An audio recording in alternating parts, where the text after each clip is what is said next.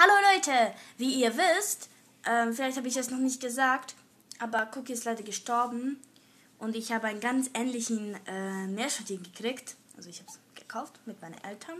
Der ist echt ähnlich und ich will die halt euch zeigen und ja. Dann los geht's. Das ist mein neues Meerschweinchen. Ich weiß, er schaut ganz genauso aus wie Cookie fast. Außer Cookie hatte hier an dieser Seite, hier unten, hier, bisschen dunkelblauer Fell und hier oben bisschen schwarz. Und ich wollte halt euch mal bitten, für diesen kleinen Müffelstück einen Namen zu posten. Also Namen. Ich, er hat noch keinen Namen. Und ja, also ich würde euch mal bitten. Diesen kleinen Müffelstück.